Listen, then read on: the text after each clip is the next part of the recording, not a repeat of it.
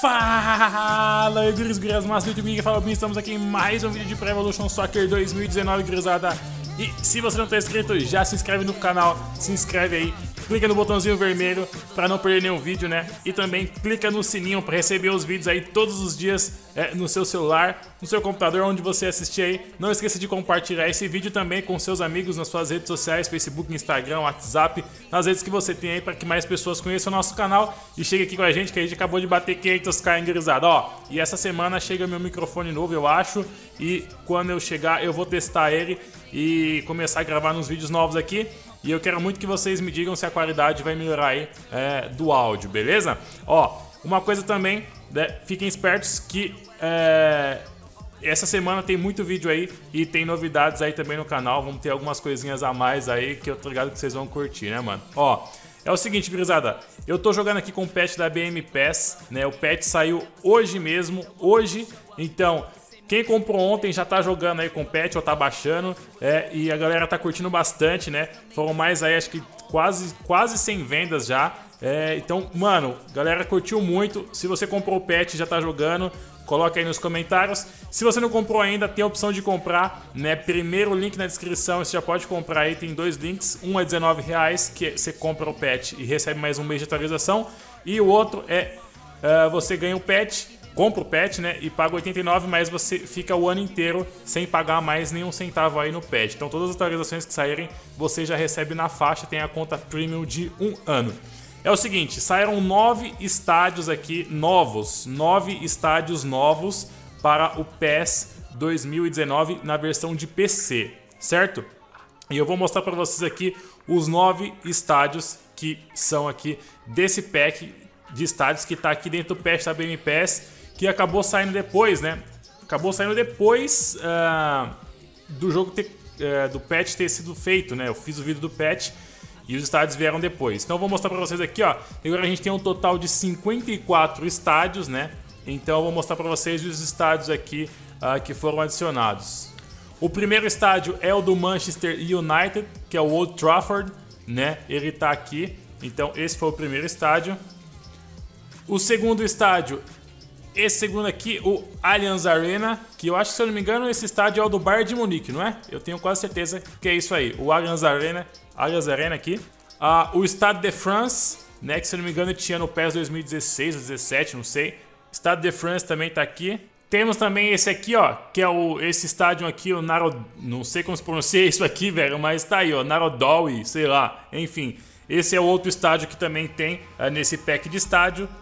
Também temos aqui o Estádio Olímpico, né, de Berlim. Temos aqui o Allianz Stadium também, que é outro que tem, né? Além da, a, do Allianz Arena, tem esse daqui também, o Allianz Stadium. Temos aqui também o Signal Iduna Park, que é o estádio do Borussia Dortmund, né? Que deixou de ser parceiro da Konami. Então, mais um estádio aqui. Temos também o estádio do Atlético de Madrid aí, o Vanda Metropolitano. Finalmente temos aquele The Ultimate Stage, né? Que é o estádio aí uh, da Champions League, a final da Champions, né, no PES 2017 ou 18, mas 2018 tenho certeza, né, que era aquele estádio que cabia acho que um milhão de pessoas, né, um estádio fictício, então ele está aqui também. Então são o total de nove estádios novos aí. Uh, já foi lançado esse pack aí, ele já está incluso no patch. Então se você comprar o patch, quando você instalar, você já vai ter 50, 54 estádios aí uh, no seu PES. Inclusive já está configurado aí uh, o mando de campo né, para cada estádio novo aí. Eu vou fazer um teste aqui, pelo menos em um e dois aqui que eu acho legais aqui e a gente vai testar aqui uh, ah, para dar uma olhada.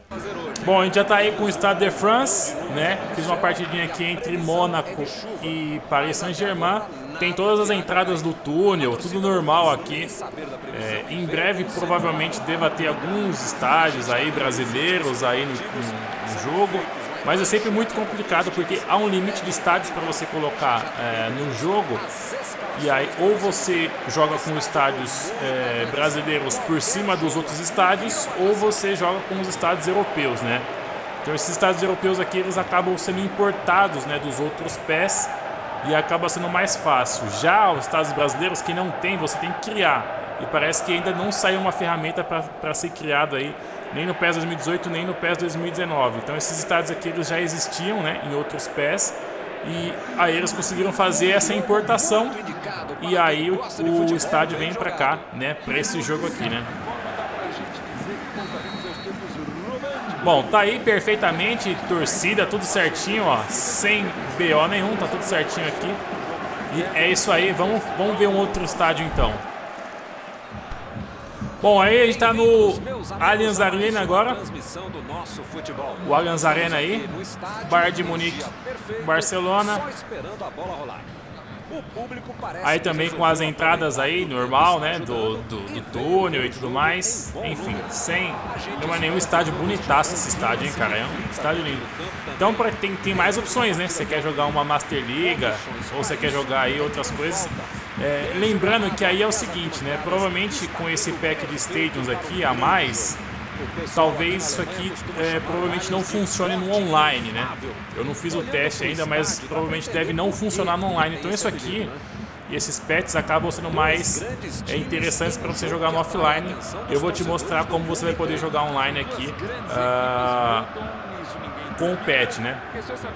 Olha esses, esse sol passando pela, pelos negócios aqui, tá muito bonito, né? No canto aqui, olha que interessante, cara. Que muito louco, velho, essa iluminação aqui, hein, mano. Olha aí, ó, essa iluminação aí da parte do estádio, top, né? Muito da hora, muito da hora mesmo. Dia, do dia aí, ó, fica muito interessante, né? Vamos testar esse estádio aqui, que eu não sei de quem que é, né? Mas é um estádio com certeza muito bonito, famoso. Vamos com o mesmo time mesmo pra gente fazer um teste. Esse é bonito, hein? Também, né?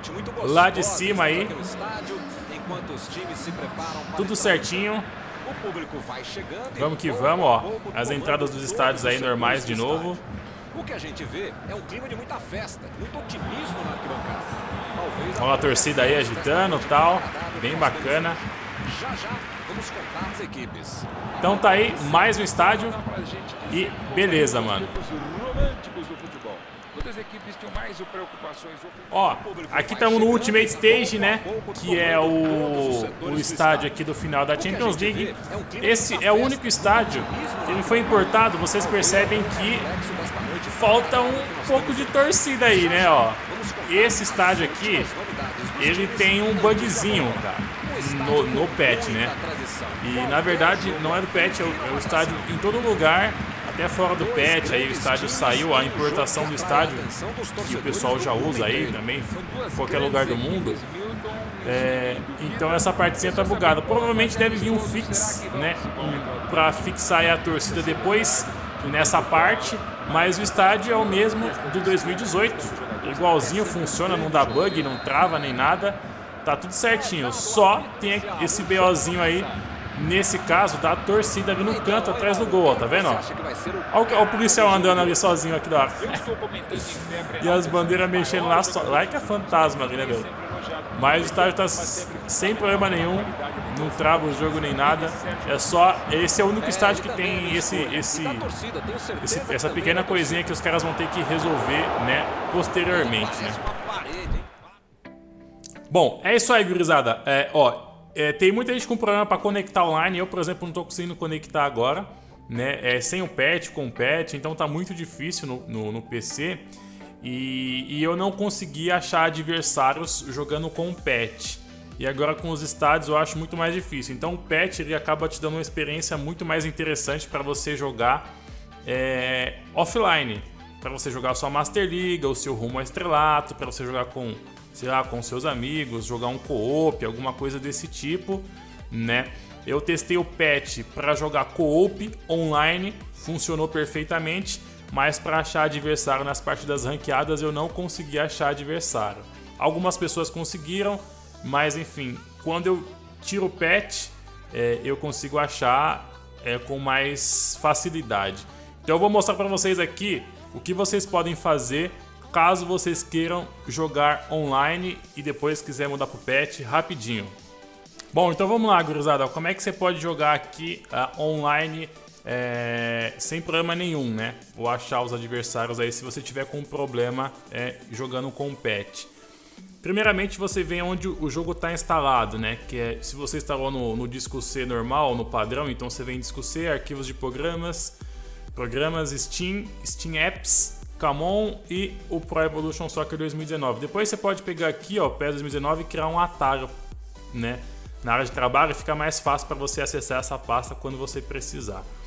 Quando você instala o patch, o patch ele é instalado dentro dessa pasta download. Aqui dentro do, do download tem os arquivos né, do patch que, que, é instalado. Então se você abre aqui o download, você tem os arquivos aqui, ó, tá vendo?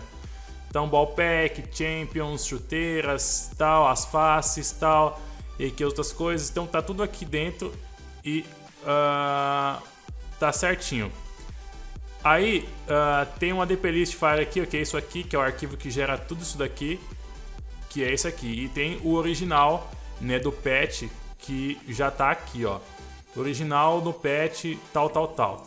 O que você pode fazer para funcionar o online aqui sem problema nenhum? Você renomeia esse, essa DP file list aqui, ó, para um outro nome, né? Então, por exemplo, eu vou colocar aqui, por exemplo, um 2 aqui, ó, certo?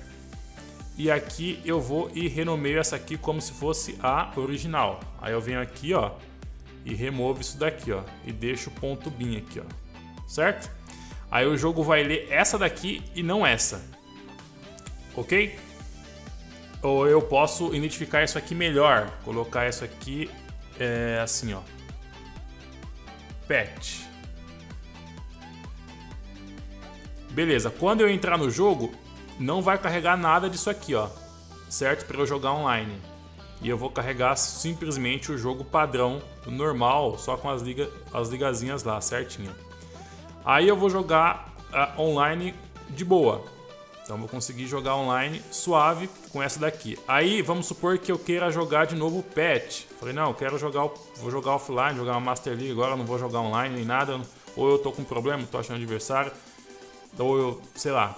Aí eu vou colocar isso aqui, eu coloco aqui, ó, o original e eu venho aqui no patch e tiro esse patch aqui, ó. E deixo firelist.bin.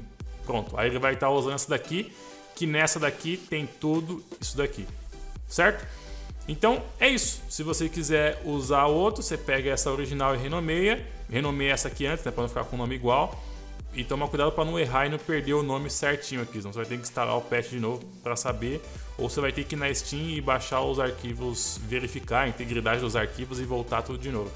Então é assim que eu estou fazendo. Então, por exemplo, aqui está instalado o patch, eu gravo as séries, Master League, arrumo estrelato tal, não sei o que, blá blá blá. Na hora de jogar online, eu simplesmente vou e renomeio aqui e aí eu consigo jogar, porque eu tenho dificuldades de achar adversários é, usando o patch. Ainda mais agora que foi adicionado os estádios, né? Que os estádios eles acabam somando mais coisas aí.